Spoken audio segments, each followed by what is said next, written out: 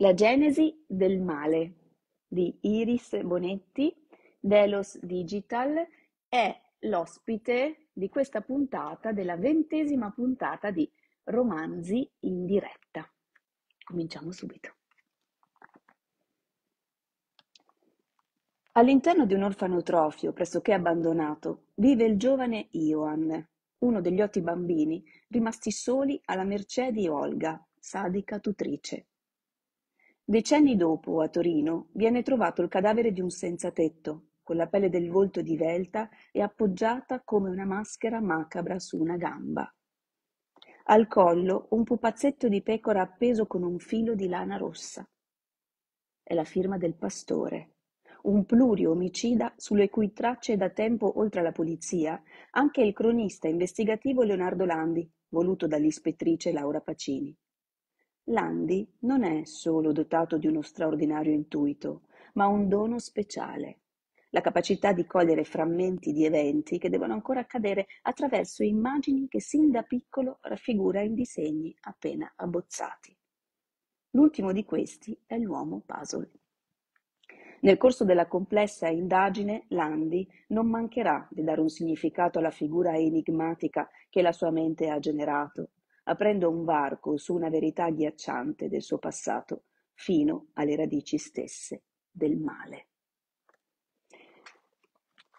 Allora, inizio subito dicendo, non sarò originale perché in questi giorni ho sentito spesso dire questa cosa, ma la ritengo davvero vera. Io, l'ho detto anche all'autrice, ritengo che questo romanzo potrebbe tranquillamente diventare una serie tv. Mhmm, più leggevo, più mi immedesimavo, più la mia mente visualizzava volti, assassini, visi, personaggi. È stato davvero un viaggio eh, interessante, interessante, tenuto conto che è, è un genere eh, particolare il thriller, soprattutto quando è un thriller psicologico. Eh, a mio parere, per come, per la mia esperienza, per me o prende o non prende. Ecco, io da che l'ho cominciato non sono più riuscita a smettere, quindi direi che Iris complimenti perché hai centrato l'obiettivo. Non vi nascondo che, anzi prima di ciò vi voglio dire che cosa ho apprezzato tutto, ma in particolare dell'autrice mh, mm, ho apprezzato tantissimo lo stile. È poetica, nelle descrizioni dei luoghi, delle, dei personaggi e poi è spietata e, e fredda nelle descrizioni degli omicidi e riesce a creare una suspense che credo di riuscire a esprimere attraverso la mia lettura.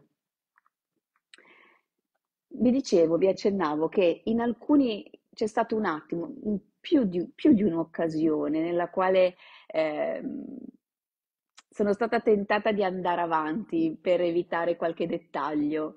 Ma attenzione Iris, perché non vuole essere una critica, anzi è un complimento, perché era talmente vero eh, che, che, caspita, questo romanzo è credibile.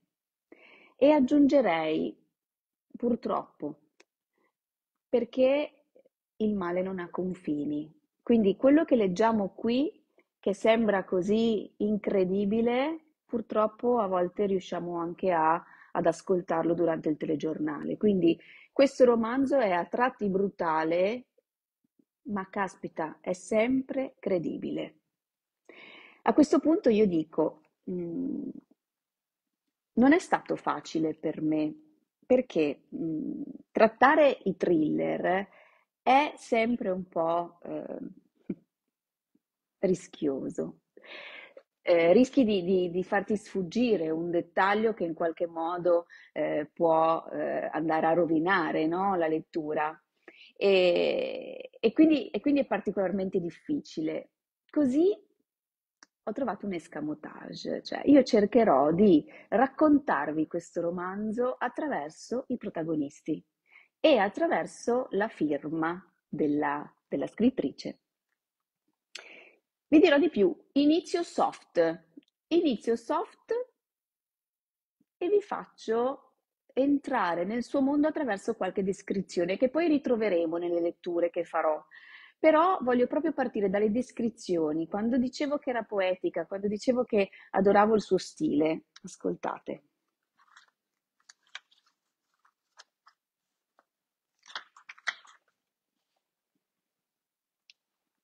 I primi fiocchi di neve iniziarono a scendere, esibendosi in una danza ipnotica. L'autostrada era pressoché vuota e senza controlli di velocità.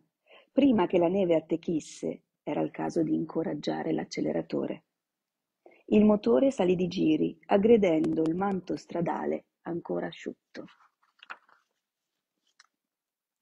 Nei pressi dell'albero uomini della scientifica si muovevano come ombre bianche e silenziose, grossi gnomi usciti dal bosco che fotografavano e prelevavano con occhi addestrati possibili prove lasciate dal macabro autore di quello scempio.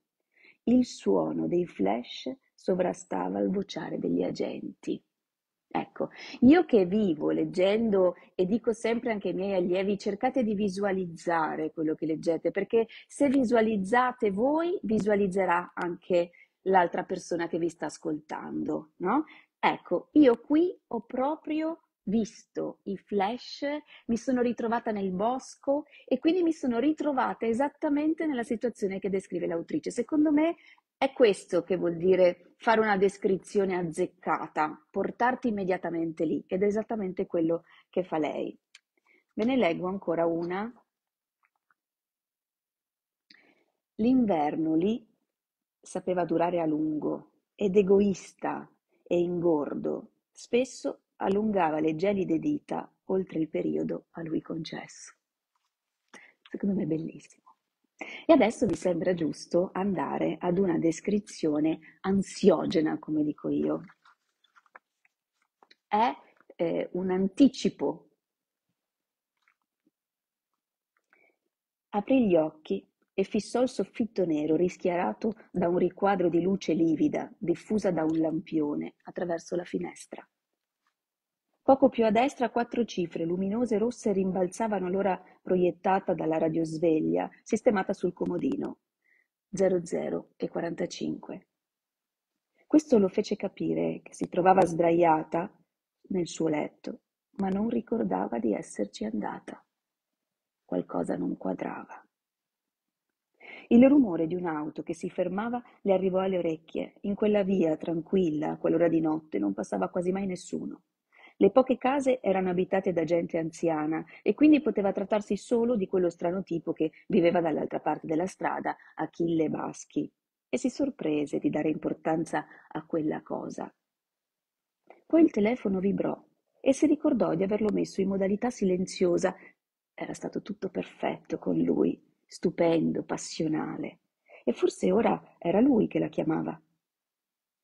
Fece per afferrare l'apparecchio, ma non riuscì a muovere un solo dito, come se il corpo appartenesse a un'altra.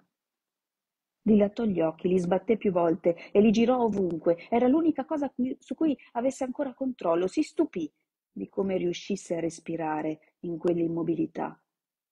Mentre il panico la riempiva, gridò, ma il suono restò appiccicato alla sua mente, dietro le labbra inerti. Le parve che la stanza si chiudesse su di lei e l'oscurità la inglobasse come un mare d'aria, sempre più denso e pesante. Sentì un rumore. Qualcosa si mosse nel buio oltre la porta semisocchiusa della camera. Allungò lo sguardo verso il fondo della stanza, ma a causa del volto bloccato gli occhi rotearono incapaci di spingersi oltre. Riuscì a scorgere solo lo spazio che si estendeva al di sopra della metà della porta e fu lì che vide un'ombra che la fissava. Ne era certa. Non era un riflesso, era una persona, ferma come un rettile pronto a mordere la preda paralizzata. Perché così si sentiva, costretta a un'immobilità mortale. Non poté vedere gli occhi perché non brillavano nell'angolo da cui la fissava, ma se li sentiva addosso come dita lupride. Forse, pensò, era già morta e quello era un demone venuto a trascinare via lei e i suoi peccati. La sagoma si mosse e quando passò davanti alla pallida luce notturna che filtrava dalla finestra, lei vide che indossava una maschera nera come i suoi vestiti Cercò di agitarsi, dirigendo la sua volontà alla bra- alle braccia, lungo i fianchi fino alle gambe, ma quel corpo le era estraneo. Una bambola di pezza, sotto il controllo di una presenza introdottasi in casa sua. Quando le fu sopra, una minuscola scheggia metallica scintillò nella mano guantata e si riflesse nelle sue iridi dilatate. La riconobbe. Era la lama affilata di un bisturi puntato dritto alla sua tempia. No? Quando dicevo che una descrizione ti porta lì. Ecco, per me questo vuol dire arrivare a chi ti, a chi, a chi ti legge, Iris, vuol dire arrivare a chi ti legge. Allora, Riprendiamo le fila del discorso. Io sono già in ritardo, non riuscirò mai a leggere tutto, ma non importa, andiamo avanti finché possiamo. Allora, cominciamo da il personaggio che vediamo qui nella copertina. Abbiamo detto nella seconda punto di copertina che il tutto inizia in un orfanotrofio. Allora, c'è un flashback, quindi si, si, ogni qualvolta c'è, c'è, ci sarà nel, durante il libro un corsivo è perché spesso si parla di qualcosa che è avvenuto e, e cominciamo appunto da eh, quello che è successo molti anni prima.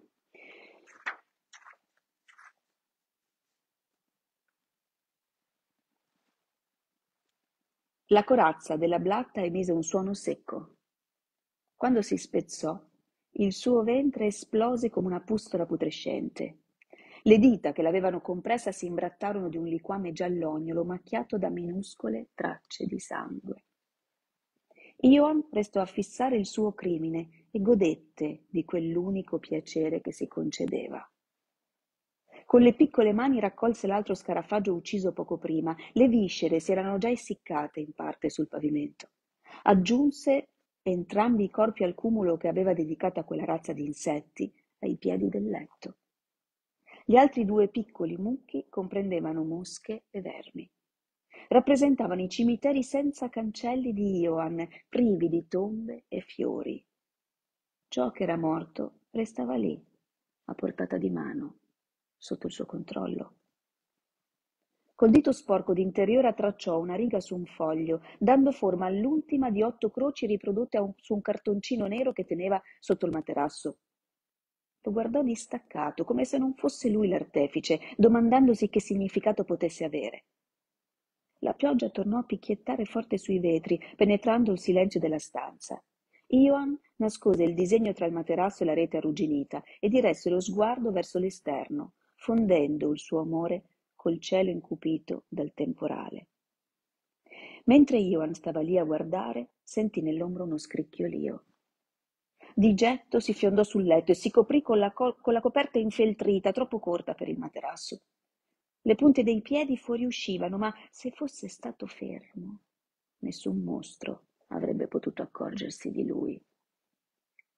Qualcuno si stava avvicinando, lo distingueva con certezza. Ne udì il respiro, finché due mani non lo afferrarono per le gambe e lui urlò.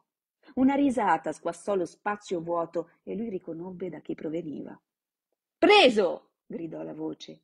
Era il piccolo Leo, il più giovane dei compagni rimasti nell'orfanitrofio con lui. Nell'ingenuità dei suoi cinque anni non aveva ancora imparato a tenere la severa Olga anaffettiva e squilibrata, unica rimasta a badare a loro, se così si poteva dire. Si rassegnò. Ioan. E se lo avesse sentito? Se lo avesse scoperto allontanarsi, pensò. Forse lo avrebbe appeso per i piedi e lasciato a rinsecchire. Ma che ti hai preso? Sei un idiota. Te l'ho fatta. Vuoi farmi morire? Restò ai piedi del letto appoggiandovi i gomiti, sfoderando un sorrisetto sul viso scarno. Glielo dico a Madama Doghia, lo minacciò lui. Non hai il coraggio, non hai il coraggio. Leo. Vuoi vedere? lo intimò. Un suono di passi echeggiò improvviso dalla lingua nera del corridoio, come se chi li trascinasse fosse apparso dal nulla. Olga era in grado di essere un gatto quando voleva e trasformarsi in un orco quando qualcuno gliela faceva sotto il naso. Questo Ioan lo sapeva bene. Leo! Pensi che sia una sciocca? Una stupida che puoi prendere in giro? credevo. Tu non credevi, eh? Bene, ora crederai. Crederete tutti quanti e capirete una buona volta. La voce stridula stonava in quella cassa di risonanza che aveva come torace. I seni le sobbalzavano come fossero di gelatina. Se la sua minaccia non avesse avvolto Ioan nel terrore, forse ne avrebbe riso, ma nessuno di loro fiatò. A grandi passi si fiondò sul piccolo Leo e lo raccattò come uno straccio. Lo trascinò fuori, ordinando a tutti gli altri di entrare e attenderla lì. Quella sera nessuno di loro avrebbe cenato, promise gridando svanendo poi nel vuoto dell'edificio. Quella notte fredda e umida, Ioan, insieme agli altri, vide Leo nel cortile al gelo dell'inverno, costretto a recitare la solita fiaba che Olga aveva loro insegnato. La conosceva a memoria e così obbedì, ripetendola di continuo. C'era una volta una vecchia che si chiamava Babadochia che viveva col figlio Dragobede. Arrivò un giorno in cui il figlio divenne un uomo e decise di prendere moglie. Perché ti sposi? chiedeva Babadogia. Non sei felice qui con me nella nostra casa? C'era una volta una vecchia che si chiamava Babadogia, che viveva col figlio Dragobede. Arrivò un giorno in cui il figlio divenne un uomo e decise di prendere moglie. Perché ti sposi? chiedeva Babadogia. Non sei felice qui con me nella nostra casa? Lei era solo, con indosso un semplice pigiama di flanella su cui sorridevano minuscoli girasoli. Lo si vedeva tremare fin lassù, dal piano da cui lo osservava Ioan con i compagni. Lo vide sollevare uno sguardo disperato verso di loro, muti e impietriti. Le parole erano interrotte da singulti e Ioan sapeva che presto quelle lacrime si sarebbero trasformate in piccoli cristalli. Probabilmente Leo doveva sentirsi come un uccellino caduto che chiede aiuto per essere riportato nel nido, un nido da cui era stato cacciato. La voce del loro amico tremò sempre di più, fino a che il racconto cominciò a suonare come un balbettio. Andò avanti a lungo, poi smise di parlare e venne l'oscurità.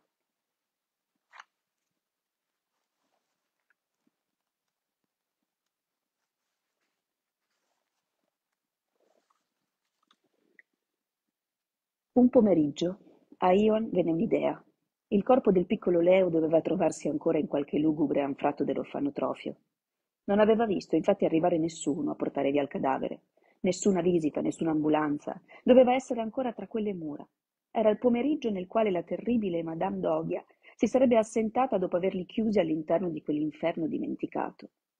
Iwan cercò di convincerli, uno dopo l'altro. Dove può aver messo il corpo, secondo voi? chiese ai compagni terrorizzati. Alice si mise a piangere e i due fratellini, Elia e Manole, la zittirono dandole della femminuccia.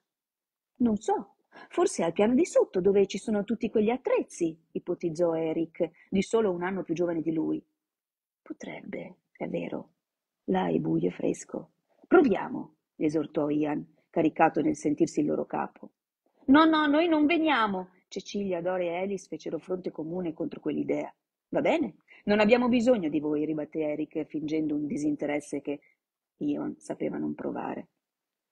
Restate pure qua, noi andiamo, aggiunse Manole. Le tre bambine si mostrarono offese, ma non appena Ioan e gli altri si mossero verso le scale, li seguirono a ruota. Scesero due piani, il silenzio amplificava l'eco dei loro passi. Una tubatura grugnì un gorgoglio cupo che corse per il soffitto. Alcune stanze cieche si aprivano alla loro sinistra come bocche fameliche di uno stomaco sommerso. Oltrepassarono una vecchia stufa coperta di fuligine. Un odore pungente, nauseabondo raggiunse Iona all'improvviso, appena voltato l'angolo. Il suono metallico di una latta arrugginita ruppe il silenzio quando Manole lo colpì col piede, facendola finire contro la parete opposta. Si fermarono. Il tanfo arrivava da una camera poco più avanti si guardarono l'un l'altro coi cuori che battevano all'unisono. Ioan avanzò per primo, premette l'interruttore fuori dalla porta e il buio scomparve scacciato dal chiarore di una vecchia lampadina nuda appesa al soffitto. Sembrava che la luce stessa volesse fuggire, trovando riparo altrove. Il corpo di un bambino stava disteso su un tavolo di legno ammuffito. A uno sguardo più attento, Ivan notò che radi fiocchi di spore favoriti dall'umidità gli avevano intaccato il visetto pallido.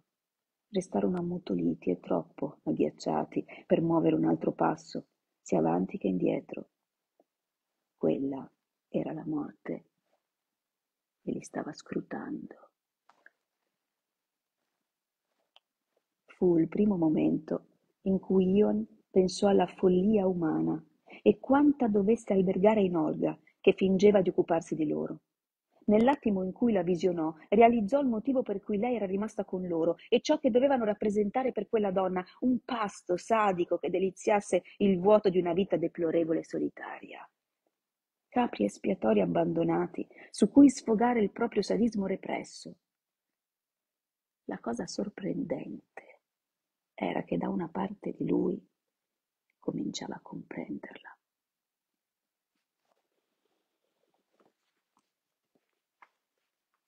Vi ho presentato questo ragazzino,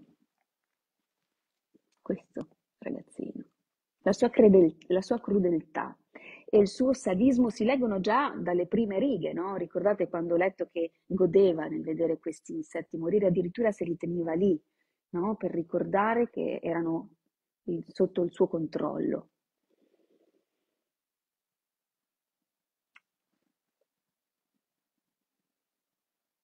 Ma la cosa più agghiacciante è che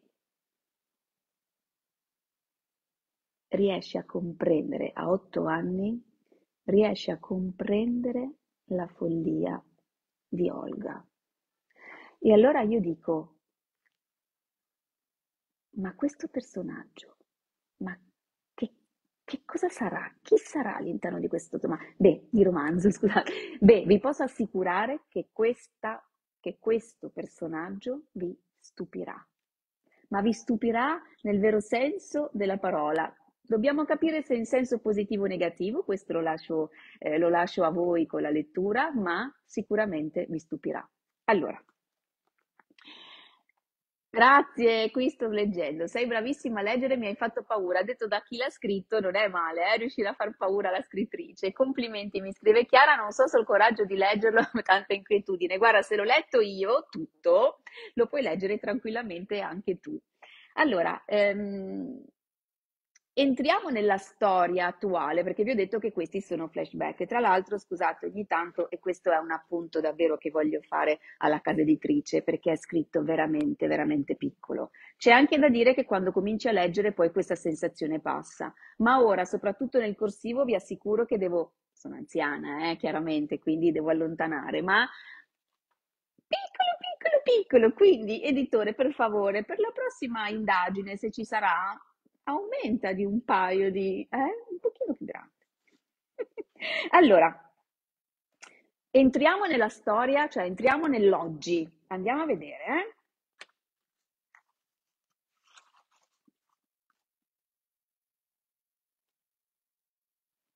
Leonardo Landi gettò uno sguardo all'ora e al tachimetro, constatando che l'Audi su cui viaggiava macinava asfalto da quattro ore e Firenze ormai distava 350 chilometri più a sud lungo lo stivale. Ne mancavano ancora poche decine a Torino, o meglio, a quel parco dove la vicequestore Serra aveva dato appuntamento a lui e all'ispettrice Laura Pacini. Si trattava del poggio più alto nei dintorni del capoluogo piemontese, il Colle della Maddalena. Il cielo lateo minacciava un nevischio che a breve si sarebbe abbattuto lungo l'autostrada e la città sabauda. Ai minuti che mancavano si accavallavano anche i pensieri, quelli che raggiungono lo stomaco e diventano un campo minato. Vorticavano sulla brutale serie di omicidi commessi a Firenze, che lui stesso aveva battezzato del pastore nei suoi articoli, che ora sembrava trasferitasi a Torino col primo caso.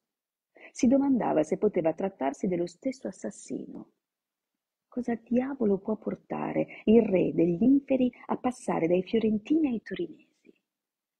Fa differenza? Forse no, concluse, sommando le riflessioni. Dal fascicolo fuoriusciva al lato di un disegno. Raffigurava un puzzle dalla forma umana composto da otto tasselli, otto frazioni di un tutto che Landi doveva ancora decifrare. Si trattava dell'ultima visione trasferita su carta che la mente gli aveva consegnato, frutto di un dono acquisito in tenera età.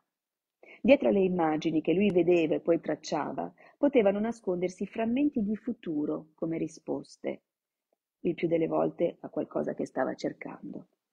Tra queste forse la possibile soluzione al caso.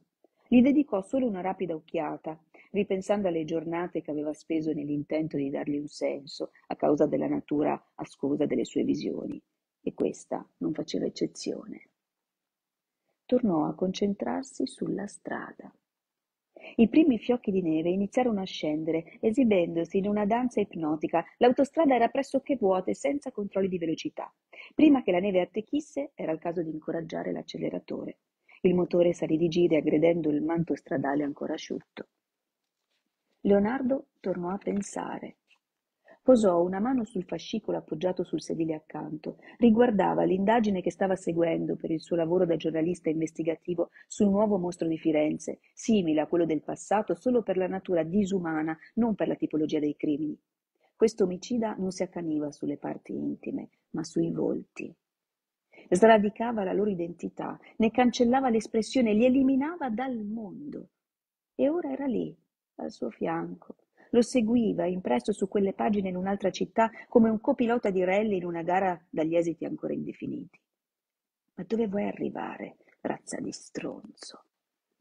Nessuno gli avrebbe risposto, non ancora. Il colle adesso da quella distanza si vedeva, non mancava più molto. Lo stava aspettando come una donna al primo appuntamento, e questo già la diceva lunga. Chi aveva portato lì la sua vittima non aveva rischiato molto, immaginò Landi. Doveva aver scelto quel luogo con cura, dopo ponderate riflessioni. La strada consentiva a un'auto di addentrarsi a sufficienza nella parte boschiva per nascondersi da occhi indiscreti e poi, nelle notti invernali come quelle, nessuno si sarebbe trattenuto al freddo per una romantica passeggiata senza stelle. Landi parcheggiò la macchina in coda a quelle della polizia, scese si strizzò nel suo giubbotto di pelle fuori stagione, alzò il bavero comprimendo la sciarpa attorno al collo. Cercò l'auto di Laura Pacini ma non la vide. Ipotizzò che sarebbe arrivata a momenti. La zona era stata isolata. Non appena si avvicinò, un capannello di uomini puntò su di lui espressioni torve. Uno di questi lo fermò per domandargli chi fosse. Lui prontamente rispose Leonardo Landi, giornalista investigativo che collabora con la questura di Firenze. Sono qui con l'ispettrice Laura Pacini. Si guardò attorno simulando una ricerca. Non la vedo ancora, ma arriverà a minuti. Siamo stati convocati dalla vicequestore Serra. La gente che l'aveva fermato gli indicò un gruppo di poliziotti vicino a una pianta. È laggiù. Grazie. Landi si avvicinò. Nei pressi dell'albero uomini della scientifica si muovevano come ombre bianche silenziose. La sua attenzione era già agganciata a quel pupazzo umano, simile a tutti gli altri entrati nella sua vita giornalistica da più di tre anni. Era appoggiato alla pianta con le braccia legate dietro la schiena. Sulle gambe, ciò che restava del volto, floscio e imbrattato di plasma come uno scalpo. Al suo posto una maschera di sangue ormai seccato sopra il grasso sottocutaneo, i lineamenti resi indefiniti. I bulbi oculari, esposti come quelli di una bambola spettrale di un film horror, fissavano vuoti davanti a sé lo spazio con tutta probabilità occupato in precedenza dal suo assassino. Prima che potesse avvicinarsi al cadavere, una donna, dal fare mascolino, gli allungò una mano. I suoi occhi erano come pietre nere levigate nel letto di un torrente, indecifrabili. Lei deve essere Landi, l'ho riconosciuta dalla foto. Non la immaginavo così giovane. Si vede che le foto mi invecchiano, sciorinò la stessa risposta alla consueta osservazione che gli veniva fatta. Afferrò la mano della donna e lei gliela stritolò in una stretta possente, in linea col look poco femmineo. La mascella allargata, le labbra pressoché inesistenti e gli occhiali squadrati sul naso dritto come una squadra le indurivano l'espressione. Unico tocco femminile, una corta coda castana. Vicequestore Alessia Serra, dirigo le operazioni. Piacere, rispose lui. Ecco, pensò Landi, lei è la persona che ha richiesto me e la Pacini qui a Torino. Per la seconda volta, come era stata a Firenze ai tempi, si domandò il motivo per cui un dirigente della polizia accettasse di rendere lui, un giornalista, partecipe a un caso. Si rispose allo stesso modo, probabilmente era dovuto ai successi delle sue indagini. La cosa strana era come fosse nato quel rapporto stretto con la polizia all'epoca del questore Rosati, ancor prima dei suoi risultati positivi, ma non si arrovellò. Non deve essersi informato sul clima di Torino. Quel giacchino non credo la riparerà molto. Ci sono abituato, grazie. Anche a Firenze il freddo non scherza, ma odio avere troppa roba addosso. D'accordo. Sono contenta che sia riuscita ad arrivare in tempo prima che rimuovessero il corpo. Certi messaggi vanno decifrati sul posto e ho saputo che lei è un abile osservatore. Ho letto i suoi articoli, aggiunse la serra. La ringrazio. Beh, mi ha parlato molto bene di lei invece questore Lucchesi con cui collabora. È stato lui a invitarci di servirci delle sue capacità, anche se detta così suona male. Mi ha chiamato poco fa la Pacini, dicendomi che a breve sarebbe arrivata, affermò Alessia Serra, proiettando lo sguardo alla fine della strada. Landi guardò il suo telefono. Aveva tre chiamate non risposte, lo scatto del silenzioso abbassato e un messaggio da Laura che gli diceva al solito non rispondi.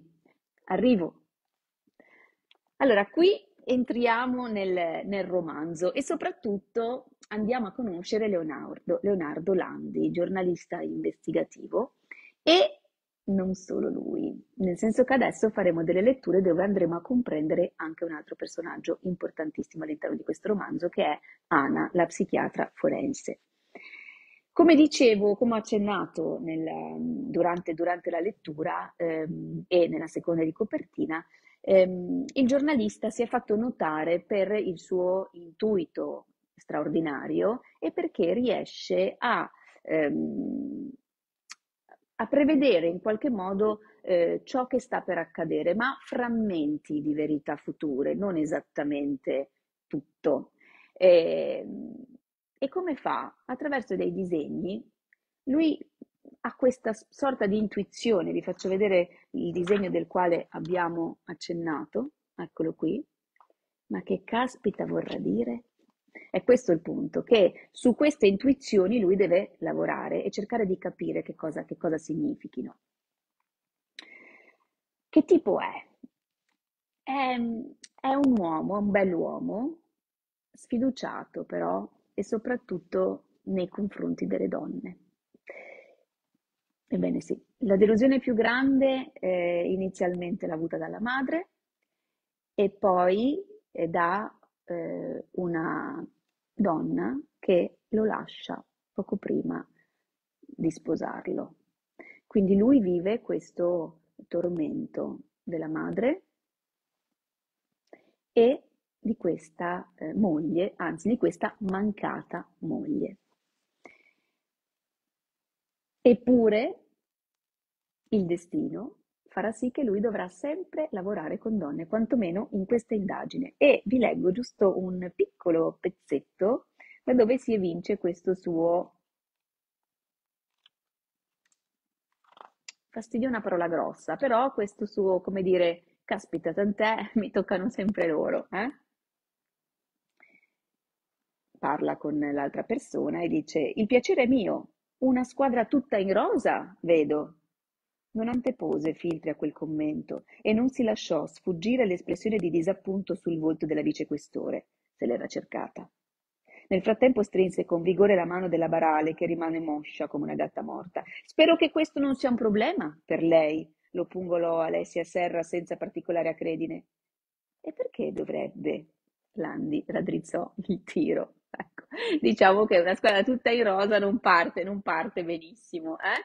Sembra un puzzle, ma è un puzzle, esattamente, sono otto, come si dice, otto pezzetti di un puzzle, esattamente così, che formano un uomo, evidentemente. Bene, andiamo avanti. Mm. Quindi partiamo dal fatto che lui con le donne, insomma, non ha tutto questo rapporto, ma in realtà sarà proprio con una donna che si sentirà di ehm, entrare nei suoi tormenti. Mm? È proprio, è proprio scoprirà proprio il piacere di aprirsi con lei. È una persona con la quale lui si sentirà da subito a proprio agio. Questa donna, l'ho accennato prima, si chiama Ana, è una psichiatra forense molto stimata dalla, dalla vicequestore Alessia Serra, che infatti non esita a chiamarla quando ha necessità proprio per le sue, le sue capacità. Ana è una donna che sa il fatto suo, è molto affascinante, è avvolgente e sarà proprio lei fare il primo passo con Landi per conoscerlo meglio, lo inviterà a bere, a bere qualcosa. Allora, andiamo a scoprire entrambi i personaggi attraverso un paio di dialoghi.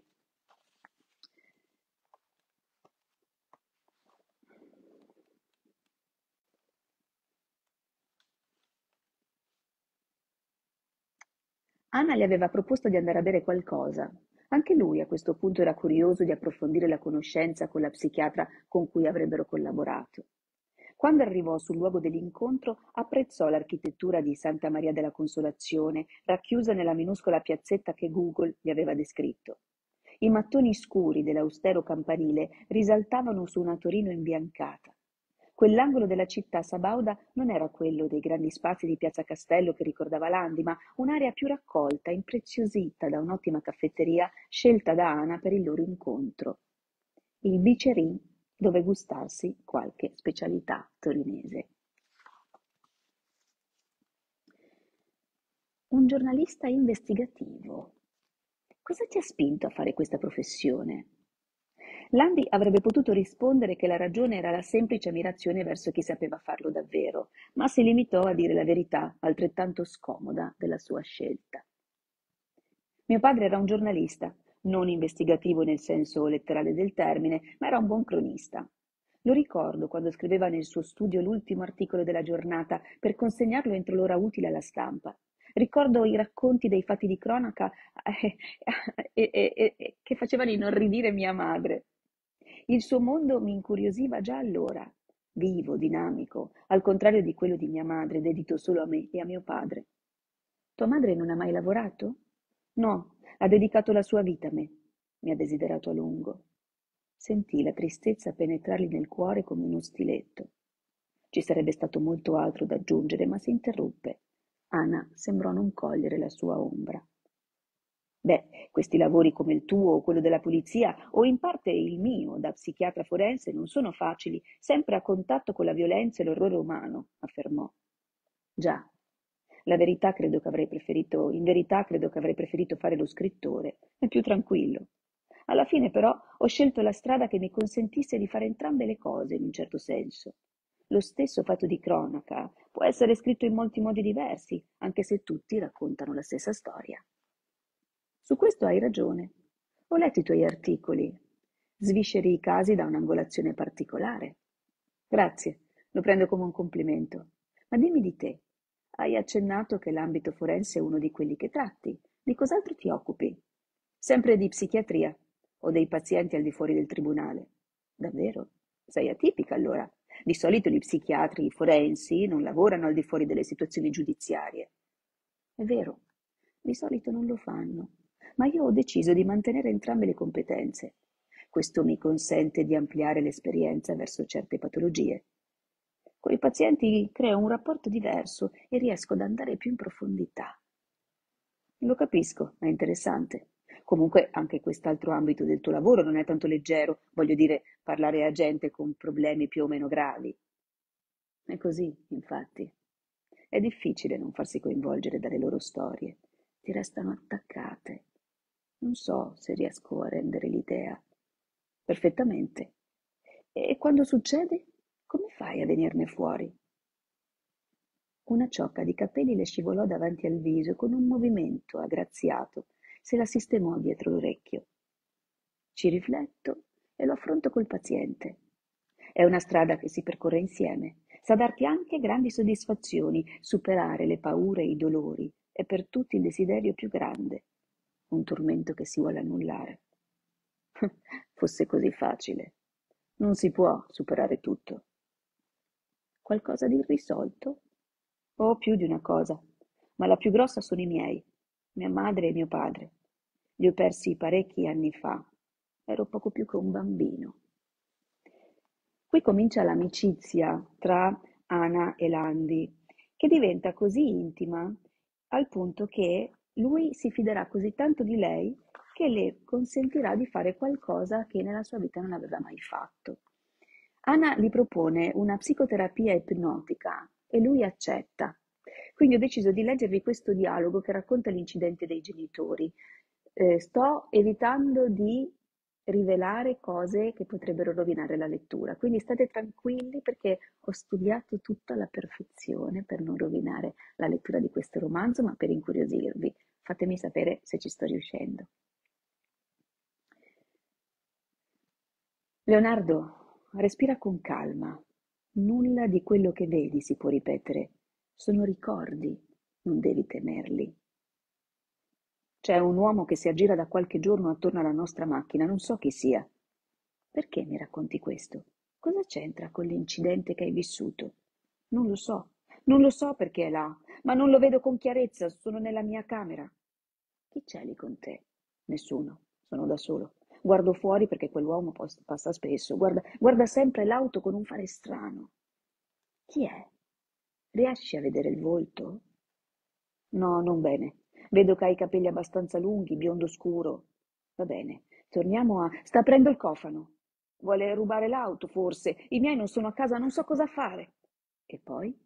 E poi c'è qualcun altro nascosto. Vedo parte di un braccio, di una spalla dietro l'angolo della casa di fronte. Credo mi abbia visto. Ma io non vedo lui. I tuoi ora sono tornati. Parlami del viaggio. Sono in auto, ancora con i miei. Papà guida veloce, di solito non lo fa, mia madre grida. Ma perché tuo padre lo sta facendo? Non si ferma. L'auto non si ferma. Oddio, moriremo, moriremo tutti. Leo, fai un bel respiro. È solo un'immagine dentro di te. Non sei morto. Sei qui con me. Landi era ancora dentro l'auto. La vettura era ferma, ma inclinata, in modo innaturale. Sentì l'aria addensarsi e scendere nei polmoni come liquefatta. Suo padre era immobile e abbracciava il volante. Parte del corpo di sua madre era stato proiettato fuori dall'auto e giaceva sul cofano. Gli occhi aperti lo guardavano.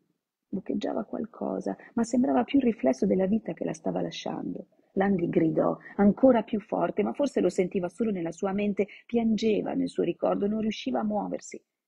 Il suo corpo era legato al sedile e la cintura di sicurezza gli attraversava il costato. Non aveva ferite, era miracolosamente illeso, ma sapeva che da quel momento sarebbe rimasto solo.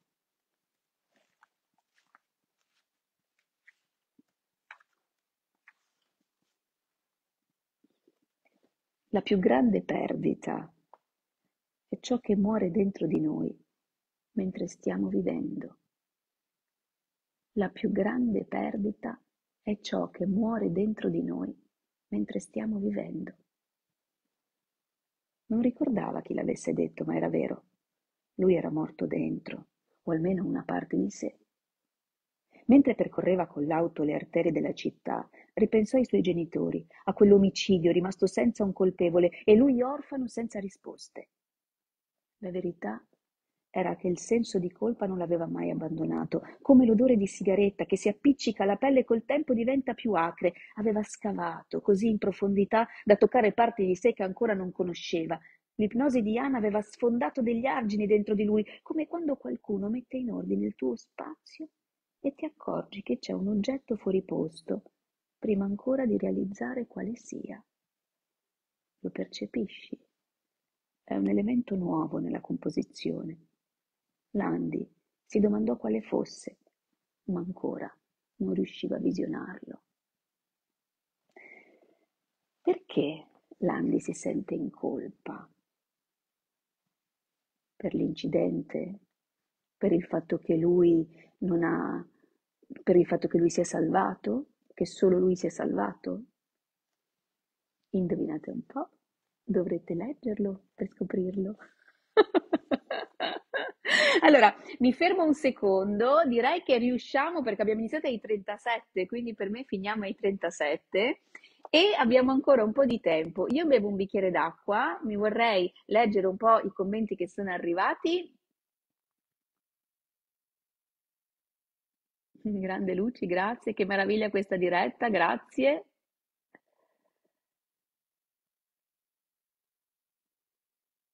Mi stai emozionando, riesci a portare fuori personaggi. Impressionante. Grazie Iris, grazie mille. Alessandra Lenzi, poetica, poetica a galla i più profondi sentimenti e paure. Brava Lucia, emozioni come sempre, grazie. Maria Paola scrive meravigliosa lei, grazie, e la storia scritta. Valentina Meana, solo lui si è salvato. Eh già. Ah, porti a galla. Allora, volevo bere.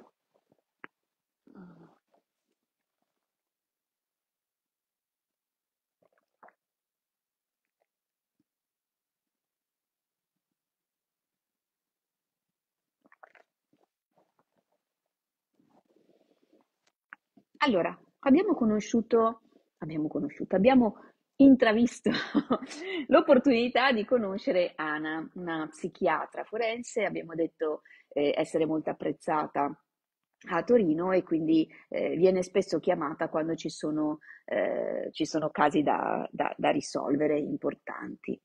Ma questa donna,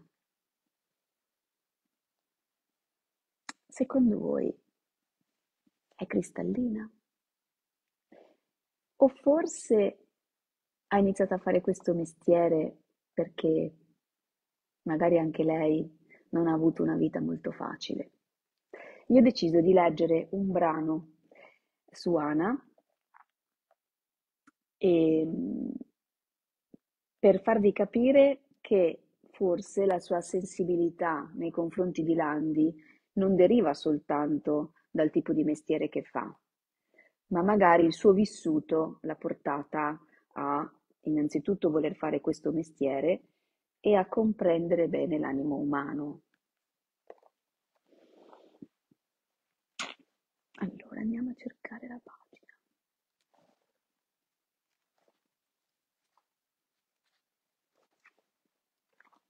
Intanto vi do una piccola descrizione di lei, così la potete immaginare.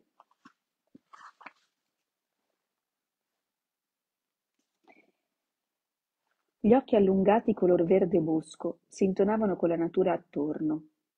Un liscio caschetto appoggiato alle spalle contornava l'ovale aggraziato, conferendogli una bellezza sofisticata, e un tailleur grigio, sotto il cappotto, le fasciava il corpo asciutto.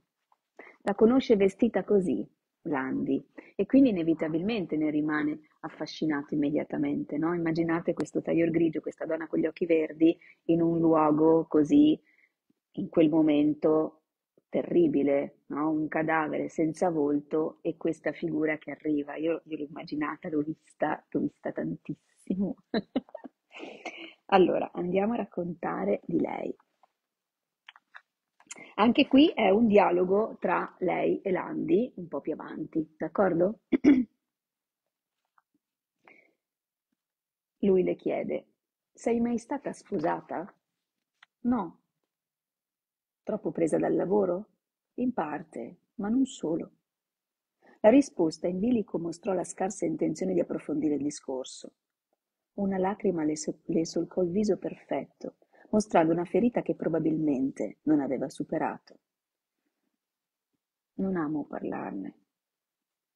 La fissò senza sapere cosa aggiungere, poi le sfiorò il volto con una mano. Era molto tempo che non si sentiva così vicino ad una donna. Allora non dire niente. Lei sembrò rimpicciolirsi e svanire, fino a lasciare lì solo il suo riflesso. Fissava un punto lontano, come se si fosse spostata in un altro luogo e tempo. Ho subito uno stupro tanti anni fa, da una persona che conoscevo e di cui mi fidavo. È un'esperienza difficile da superare. Ce l'ho messa tutta ed eccomi qui. Ora sono io ad aiutare gli altri. Riempì i polmoni con un profondo respiro. Tutto d'un tratto a Landi sembrò che la stanza ne fosse priva. Mi spiace. È una cosa terribile. Non oso neanche immaginare Soprattutto, aggiunse lei, quando quei bastardi finiscono per farti passare per complice, ti divora dentro. La donna aveva preso il posto della psichiatra e il dolore modellava ogni tratto del suo viso. Si chiuse nelle spalle e Landi l'accolse tra le braccia senza domandarle altro. Lei lo lasciò fare.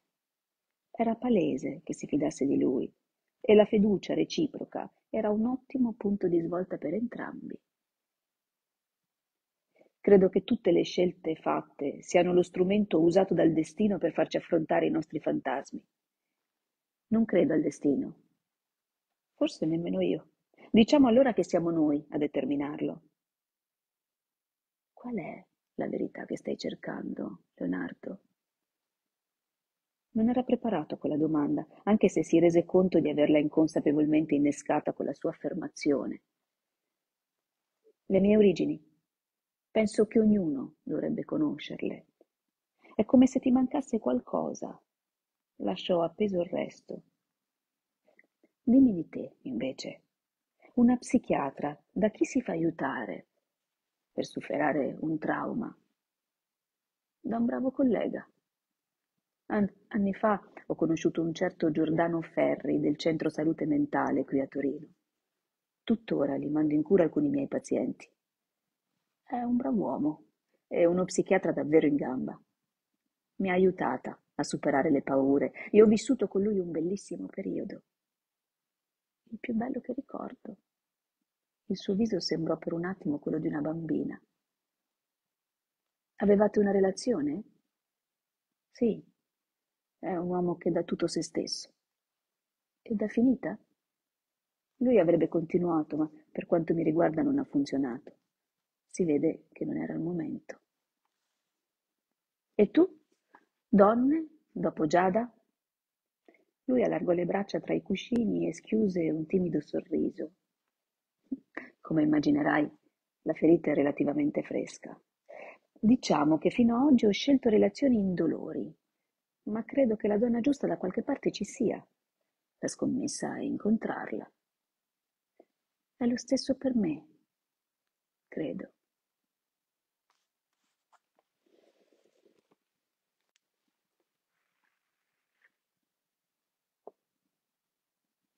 Allora, mi sono presa un attimo perché devo dire che è un dialogo potentissimo e loro sono nello studio di lei e quindi lui probabilmente si mette un po' i cuscini, no? Succede anche quando ti senti a tuo agio con qualcuno che, che vi racconta, no? Delle cose, magari hai una coperta o un cuscino in mano e quindi l'ho immaginato, l'ho immaginato così. E, ehm, questo è quanto. Io ho deciso di parlare soltanto di loro, ovviamente per il tempo e perché sono personaggi che evolvono e che hanno, che hanno una struttura importante. Ci sono personaggi altresì molto importanti naturalmente che ruotano attorno a loro e sono l'amica di Leonardo e ehm, ispettrice a Firenze che è Laura Pacini. Eh, anche lei è una donna, è una donna che, che vale la pena leggere e conoscere e poi c'è, abbiamo letto la Serra, che è colei che ha voluto fortemente che Pacini e Landi andassero a Torino. E poi c'è Miss Marple, almeno così la chiama eh, Laura, in realtà è Elisa Barale, anche lei è vicecommissario, mi sembra di ricordare, e vicequestore direttore Alessia Serra e sì, quindi deve essere commissario. Diciamo che la chiama Miss Marple e vi lascio indovinare, o meglio, vi lascio, vi lascio la lettura per capire perché. Diciamo che proprio non nasce questa, questa simpatia tra, tra le due. Quindi l'abbiamo detto all'inizio, praticamente sono tutte donne, ma sono una diversa dall'altra, quindi è stata bravissima anche in questo Iris, Iris a dare una, figure diverse per, per, personaggi diversi e soprattutto dare dei ruoli importanti a, a queste donne che effettivamente eh, sul lavoro mh, sono davvero, davvero molto molto brave. Adesso io vi lascio con eh, una frase che ho letto nel libro e che mi è rimasta davvero impressa e che vorrei che eh, vi lasciasse quello che ha lasciato a me, ovvero la voglia di riflettere. E la frase è, i sogni sono una breve pazzia e la pazzia un lungo sogno. La genesi del male di Iris Bonetti.